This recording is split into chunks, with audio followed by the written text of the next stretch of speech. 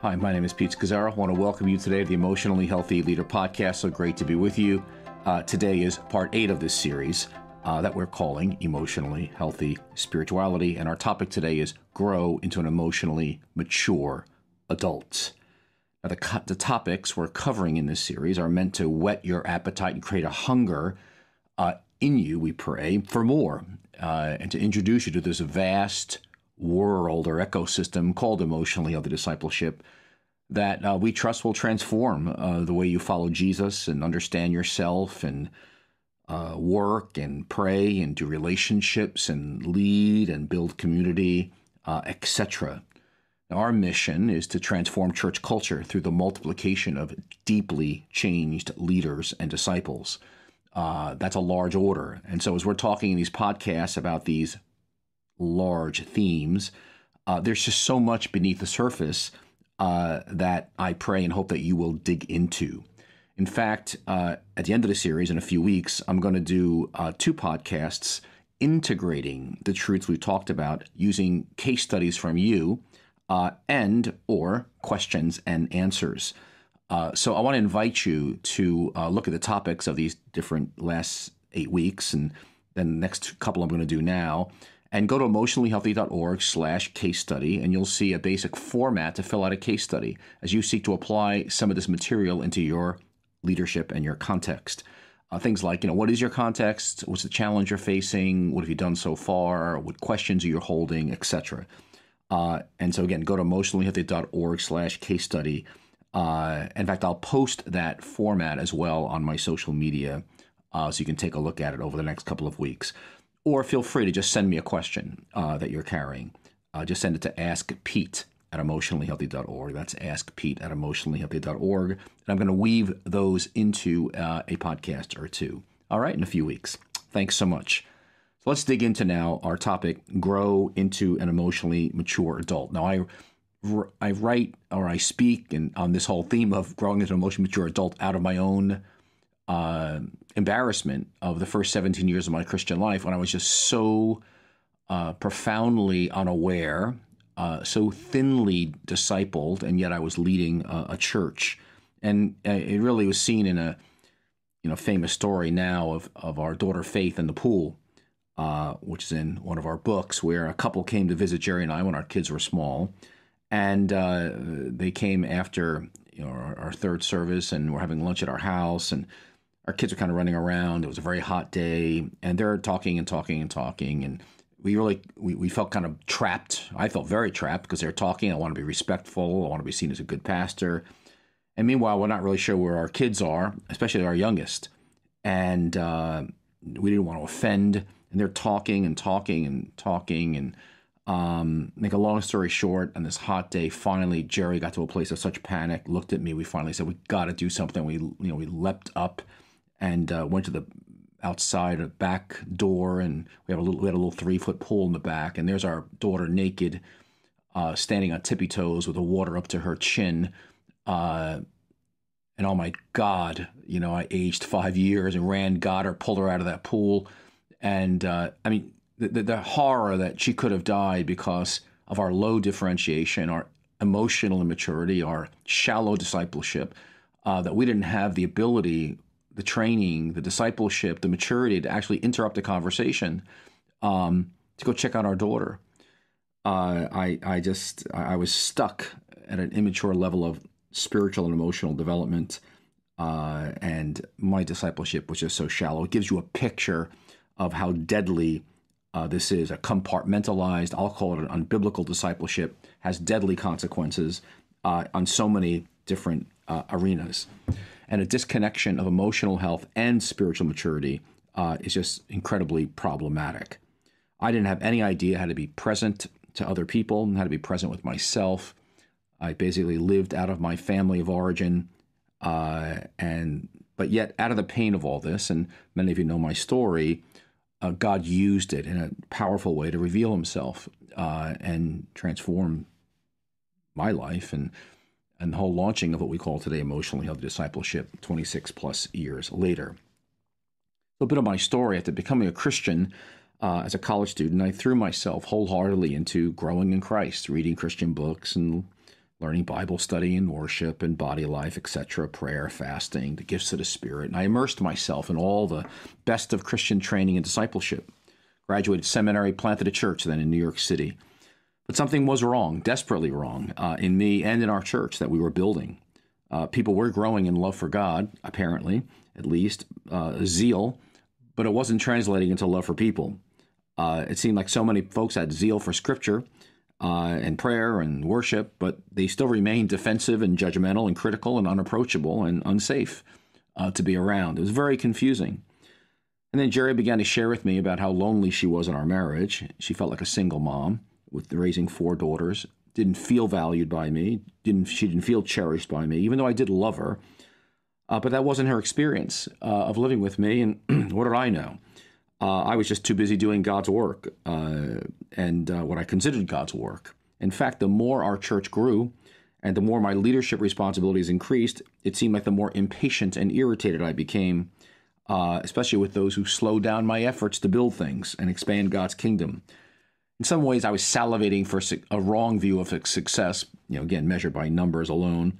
And it kept me from actually seeing the people right in front of me. And so our church was growing in number, numbers, but uh, we were recycling the same old childish conflicts uh, among us, month after month, year after year. And I finally had to acknowledge uh, by six, year six or seven that something was really wrong. Something was seriously wrong. That here were people faithful uh, in terms of church activities, but they were detached and angry at home. We had gifted teachers who uh, were unteachable themselves or proud and uh, defensive. They, people who knew their Bible but were unaware of their defensiveness or irritability or how easily triggered they were. We had people who prayed uh, that were great workers in the church, great intercessors, but their marriage uh, was falling apart, or they were highly critical. We had nice Christians uh, who were so nice, uh, but they avoided conflict at all costs. And they pretended everything was fine sometimes in relationships when things were not fine. And then they would do something passive aggressive uh, or very immature. And it became obvious uh, to me, and I think to a number of us, that the quality of love inside the church was not really that different from the quality of love outside the church. Uh, and that there was a lot of emotional immaturity uh, in action and uh, there were glaring contradictions uh, that were there. And the problem was I couldn't really identify it because I was living it out myself. Uh, I had a disconnected, and we had a disconnected uh, spirituality from what we call emotional health. And by the grace of God, I finally saw it uh, that I was an emotional infant stuck, and yet I was leading the church. Uh, I was just another person who appeared to be growing in love for God, but I wasn't growing in love for people. Wow, like I didn't know what to do with anger. I didn't know how to be honest in relationships. I didn't know how to deal with conflicts. Uh, I didn't know how to say a respectful no to people. Uh, I ended up saying yes way more than I wanted. And I didn't know how to speak clearly and respectfully and honestly. Uh, and so that's why that fundamental truth that uh, we often say is core uh, to emotionally healthy leadership and discipleship, and that is an emotional health and spiritual maturity are inseparable, that it's not possible to be spiritually mature while remaining emotionally immature, and that a person can be 30, uh, chronologically 35, or chronologically 65, or chronologically 85, and still be an emotional infant or child in their relationships, unless there is intentional discipleship and mentoring and work done. In fact, if you've never taken the um, emotionally healthy assessment, uh, that will help you discern in 15 minutes am i an emotional infant child adolescent or adult? Go to emotionallyhealthy.org slash mature. Take that. Well worth your time and energy. That's emotionallyhealthy.org slash mature. Uh, you know emotional infants end up treating others as objects to meet our needs and infants can't empathize with other people. Or emotional ch- children whine and distance and pout and lie and withhold and appease and aren't open and honest about their needs can't do that Emotional adolescents are defensive and threatened by criticism.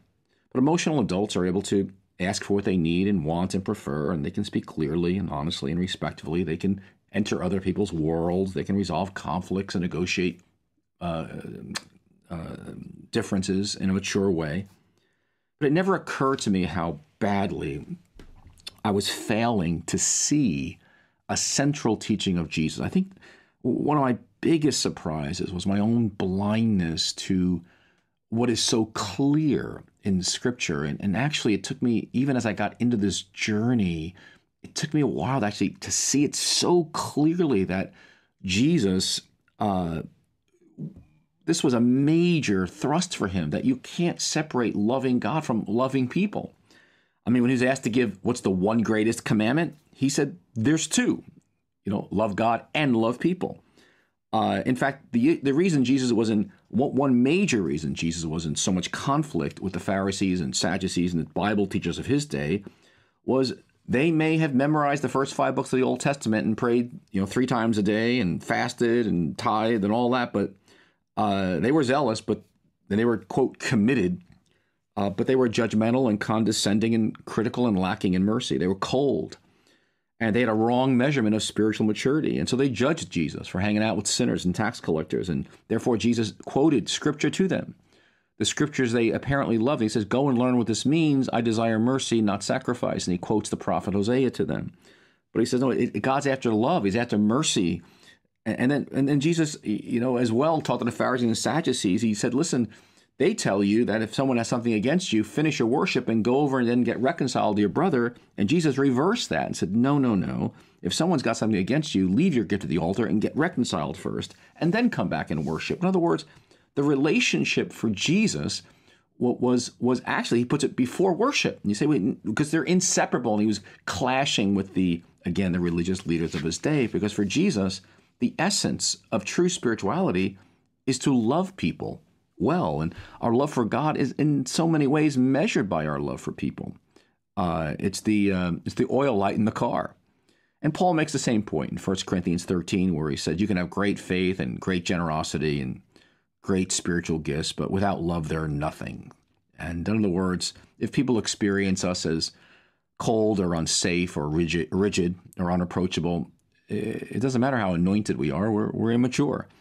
Uh, and that's why we talk a lot about it's. We're not just about a slow down spirituality, a contemplative spirituality, but we're about this thing called emotional health, which really is about learn as loving people. It's it's how people experience us. Let me just give you a couple examples. Try to put some flesh on this. Uh, one pastor uh, pastor was sharing with us uh, recently how he he would always go home and be with his family, extended family, and family of origin uh, as an adult but he was always angry and frustrated because he wanted to change them. He wanted them to be different. Um, and they experienced them as annoying and frustrating. And he just shared how he finally let go and simply loved them. It changed everything on their uh, yearly uh, vacation together.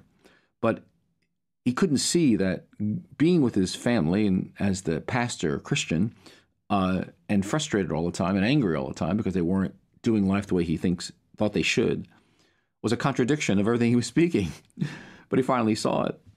Or another pastor friend whom Geri was with um, recently, and uh, sharing, he shared how he doesn't do feelings, uh, and he's not present with people, but he's he's a task oriented guy, getting getting things done, has his to do list.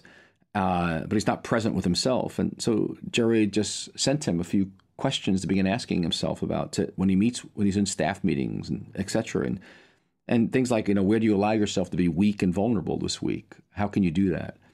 Or how can you reframe and live differently from just getting it done? What would it look like for you to be present to the people that you're working with? Uh, how can you be more personal and less formal, and maybe start even communications with a friendly greeting? Uh, and listen more and restrain from leading every conversation. And she wrote, "How can you be? How can you practice even being comfortable with silence in the company of others in, in a meeting?" It's just fascinating. But but for walking out, just changing, just getting the work done to actually loving and being present, what a challenge for this particular pastor.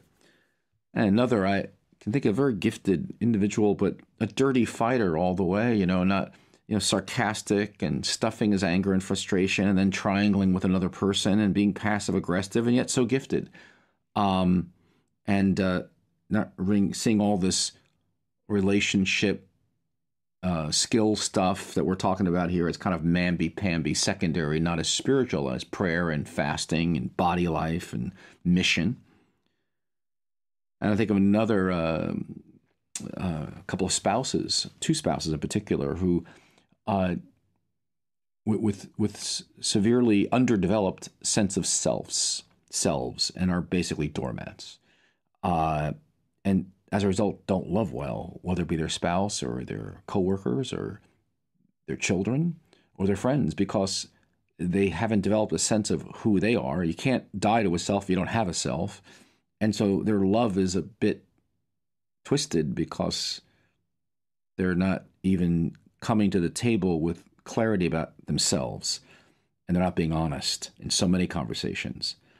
It's even something as simple as what movie do you want to go to? What restaurant would you like to go to? And being able to say, this is what I would like. This is, this is what I'd like to do versus saying yes. And then you go, and then later you're kind of like angry that you even went you shouldn't have said yes.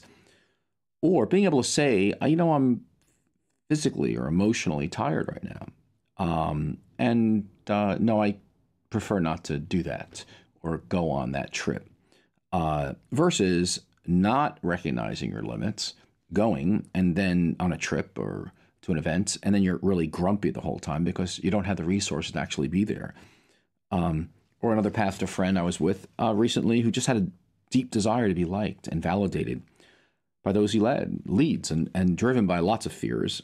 Uh, and as a result, makes all kinds of poor decisions. And again, it's not always truthful, but is not loving well because he's not uh, clear internally uh, about what's going on inside of him. And so, as a result, his emotional immaturity uh, is kind of be, is there along with his massive gifting uh, and quote productivity uh, for the church. And then finally, I think of another uh, pastor friend who just, uh, you know, we'd had some mentoring relationships with and relationship with, and just easily, she was easily, easily triggered and had a number of emotional allergies and uh, just again unaware of where that was all coming from uh, and had not done the kind of inner work that uh, would not cause her to be folks to walk on tiptoes around her, at least knowing there's certain issues that maybe she would explode on. So when we grow, when we accept Jesus and we grow uh, as in Christ, it does involve growing into an emotionally mature adult. Uh, and that's not natural. That requires discipleship. In other words, learning to love others and relate we- to love others well, especially in stress and especially in conflict, it's not automatic. This requires intentional discipleship. And that's why uh, over these 26 years for Geri and I, it's been implement. How do we? Imp- our struggle was from the very beginning. How do we implement theology into people's lives in relationships? And we began this long journey to develop skills, uh, to gather tool skills and develop some skills, create some skills to help disciple people in relationships to become emotionally mature adults.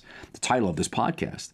In fact, this became so big that the what we call the emotionally Healthy discipleship course actually has two parts. And part two is called emotionally healthy relationships. And a desire to move people from brokenness to wholeness from defensiveness and blaming and low self-awareness to approachability and high self-awareness and and delight and courage in their relationships. And um, that's why these we developed we ended up landing on eight skills um, that we did trial and research with uh, for years, decades, uh, both in our international context here in New York City, as well as traveling around the world, um, basically getting the nuances out uh, that applied in cultures all over the world. And we realized people needed to actually do the scriptures and not simply talk about it. And again, these skills are simple to understand, but very difficult to implement. Um, but the goal with the skill is meant to uh, implant, establish, and plant a theology, a language, a framework, so you can build a healthy culture. Whether it's you and a friend, whether it's a family, whether it's a community, whether it's a church, a ministry. Um, so again, let me. You've got to taste this, and you've got to actually step on a bike to actually try it. And so go to emotionallyhealthy.org/slash preview. Uh, that's emotionallyhealthy.org/slash preview, and check out uh, one of the skills called the community temperature reading. It's in the emotionally healthy relationships course. It's free. Download it and just try it. Just taste it. and it, what I'm talking about will make some sense to you about when we talk about applying theology in relationships through the use of some simple but difficult to do skills, especially under stress. Stress. In other words, we've got to put flesh on theology. But even learning a skill in a in a course is not enough. It's got to be it's got to be worked out in practice. So we had a pastor. We were in another country, and we uh, had done it. Just finished a two and a half day conference on emotionally healthy leadership. And uh, so this pastor invited us back to uh, his hometown, uh, and we stayed at a you know a hotel. And they was going to take us out the next day uh, to see the uh, city. And um, so we said, okay, you know, we just gotten there, and uh, but we just finished this really three days of conferences. Of course, we've been traveling before that. And when Geri and I are in our hotel room that night, we realized mm, tomorrow's our Sabbath. We don't really want to go traveling. Uh, we just really need to rest. Uh, we'll just walk around town ourselves later. And so called him the next day and, and said, you know, thank you so much for the invitation, but Geri and I are going to uh, just stay home uh, in our hotel room and we'll walk around town. But it's our Sabbath. We're really tired. But thank you so much. Uh, they they had never they, they were in shock. Uh, they'd never heard of such a thing. Uh, how how could we say no? Uh, because in their culture, if someone asks you to, uh, to take you on a you know tour, you say yes, of course. And and in fact, he, he was exhausted, and so was he was going to bring his whole family because you're supposed to bring your whole family, and they were all exhausted from the you know three day conference in a different city. Um, and they ended up having a huge conversation about it. But he said to me, Pete, I, I, in the three days of, conf- of the conference, I, I didn't understand what you were talking about about emotionally healthy discipleship. But after that one interaction with you, I get it. Uh, and he was so grateful to have his day free as a family. In other words, the, the, the point of uh, uh, of this focus on grow into an emotionally mature adult, the, the, the, focus on this relationships thing, that's so hard for us because we're not good at it. We have not been trained in it. And when you've lived for decades and you've been highly trained, like so many of us have been in scripture and theology and leadership stuff, uh, to get into this area of relationships, this nitty gritty, it's it's humbling. It, it it just breaks you. But do you understand that God is love, right? He is love, and and it's got to be worked out relationally. We, we we see Him through other people as well. You know, God is not about shape up or ship out. God is not a you make one false move, God. God is not just putting up with our messes. God's DNA is not disappointment and disapproval towards people. No, God so loves the world. He loved the world to send his son Jesus, and he loves the world. And God is so much greater than the one people think about who he is. And there are so many folks around us, and so many leaders like us, who walk around in, in pain and shame and often disgrace. And thus we strut around with these protective shells of kind of posturing and how we doing and how do we measure up to everybody else. And it, we're just stunted. And, and we actually see our shortcomings and blemishes as proof that we're not worthy. And so when we grow and mature in loving, because God is love, and we help shift people's attention to the fact that they're they're made in the image of God, and and there's goodness in them. It's not all you're all a wretched sinner. Nothing. You're just a nothing. Nothing good dwells in you. Yeah, sin taints you, but you're made in God's image. There is goodness in you, and God delights in you as a human being. He loves you. He loves you no matter what. Uh, I, I, like what Greg Boyle once said. He goes, "He's the no matter whatness of God. No matter what, He loves you." And this puts, and so the skills and and this commitment to grow into our relationships puts flesh in our theology. You know, it has been uh, said, and I think rightly so, that Gnosticism has been a, a, an overriding issue confronting the church throughout its whole 2,000 years, and especially in the first 400 years. Gnostic thought, Gnostic practice, Paul was you know combating in his epistles. Uh, whether and John, we see in John, we see in the book of Revelation.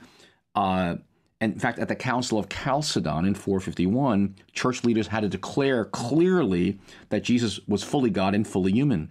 I, the God came in flesh and lived among us. Uh, and this is so important because we talk about emotional maturity, we talk about relationships, we're talking about fleshly theology. We're not Gnostics, we're not we're not super spiritual beings living as if we're angel in heavens. Our our feet are grounded on earth, and we're calling people to live out a spirituality that is grounded in the here and now.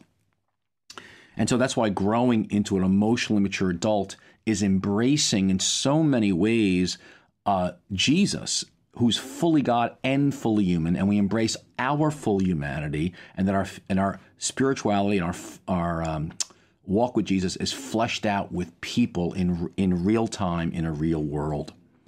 Just two things just to consider as we kind of close our podcast here. The first is this: you want to just be aware and think about what was your family of origins capability for emotional connection. In other words, your ability to love well is connected to how spiritually secure the environment you grew up in was. So you want to look at your family's ability to connect well. For example, were you taught to identify and express what was going on inside of you, your, your feelings when you were hurt and, uh, and uh, distressed? How were you, were you comforted? Uh, or if the emotional connection was lacking, you ended up restricting emotions and minimizing what was bothering you. Uh, did you learn to trust other people? Did you learn to respect others and take turns? How'd your how'd your caregivers handle fear and shame and anger and sadness and jealousy? Were you allowed to be a child, or were you expected to take responsibility for your parents' feelings? And did you learn to speak clearly and respectfully and honestly? Did you learn to check out assumptions and not mind read? Did you learn, did you learn to make complaints in a respectful way? And do appreciations, negotiate differences, do clean fighting versus dirty fighting. The list goes on. Did you learn to listen and give people your undivided attention when they were talking to you and not interrupt uh, or feel what other people are feeling? Again, I like what David Augsburger said years ago. Being heard is so close to being loved that for the average person, they're virtually indistinguishable. And so, how did that work out in your family of origin? How's that impacted you today? And the greater the deficits, of course, the greater discipleship work we need to do in Christ to develop communities that are extraordinary in a way that we love. And what makes us different than all the rest of the communities in the world is we love like God loves the world, and we people feel safe around us. They don't think of us as judgmental; they see us as safe. And so, then, secondly, I want to invite you to uh, take some practical steps in your discipleship to grow into an emotionally mature adult. Uh, it can be scary. It can be terrifying. Uh, it's not automatic but the grace of God and the Spirit of Jesus who lives inside of you, who raised Christ from the dead, um, and there is power inside of you to actually change, to rewire yourself from the inside out by the Holy Spirit. The skills in the emotionally healthy relationship course are actually, as one pastor has said, it is the secret sauce.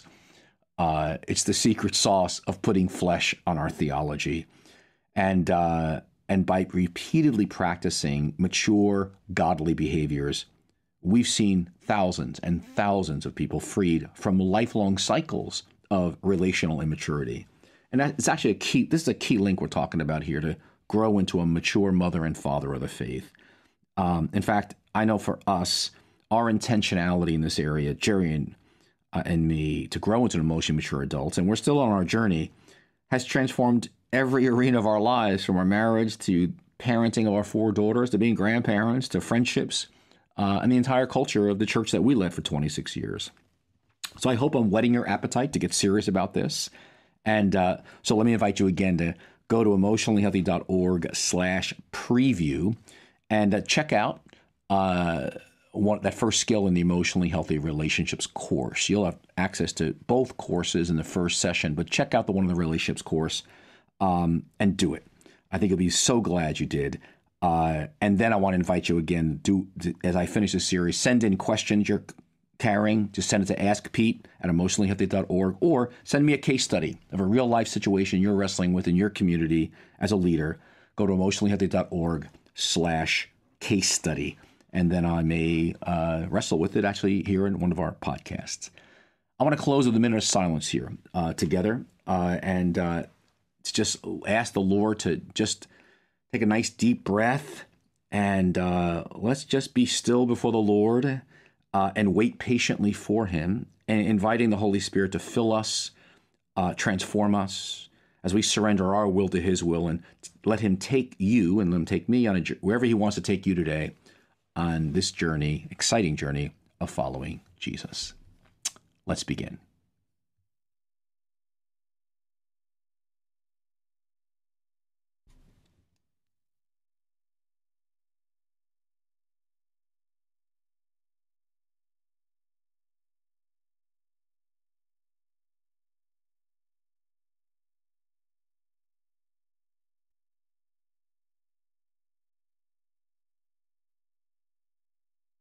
Thank you, everybody.